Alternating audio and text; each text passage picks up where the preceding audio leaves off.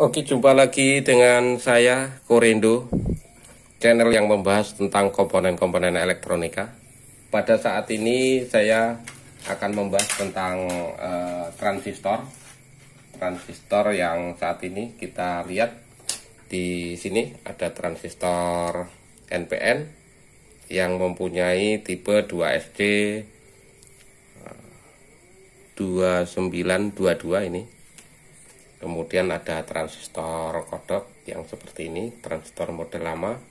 Kemudian ada transistor yang lainnya ini kecil-kecil seperti ini ini kita belajar dulu di transistor NPN dan kita gambarkan transistornya untuk skemanya.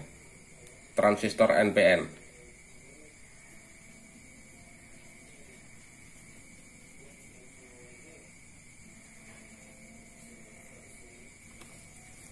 Oke, seperti ini skema transistornya.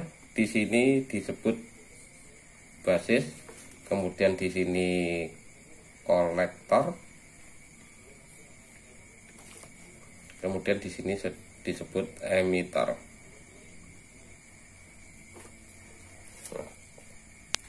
Nah, ini.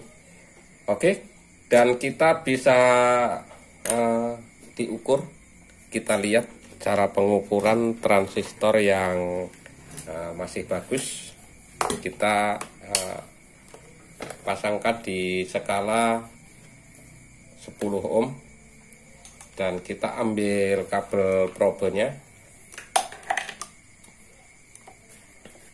Untuk transistor yang besar basisnya biasanya di sebelah kiri kita di hadapan kita. Ini kita ukur. Kalau dari kolektor dia mendapat sekitar 5 uh, puluh ohm nih. Dan ini kalau dibalik sudah nggak ada yang bergerak untuk transistor jenis NPN ini. Nah ini. Jadi yang hitam ditaruh di basis kemudian uh, kolektor emitter merah-merahnya. Ini sama dengan yang transistor kecil. Ini juga cara pengukurannya sama cuman untuk terletak basis kolektornya beda-beda. Oke nanti kita bahas untuk lain waktu uh, tempat letak kolektor dan emitornya oke demikian tadi uh, mengenai transistor dan letak kaki-kakinya. Mudah-mudahan uh, teman-teman bisa mengerti uh, transistor ini Terima kasih Anda sudah menyaksikan video saya.